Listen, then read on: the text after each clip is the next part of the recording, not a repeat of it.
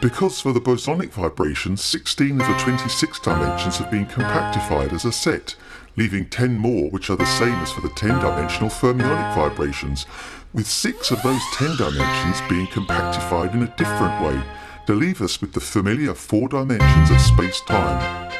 It's the extra richness provided by the 16 extra dimensions that makes for the richness in the variety of bosons, from photons to W and Z particles and gluons, compared with the relative simplicity of the fermionic world built up from a few quarks and leptons.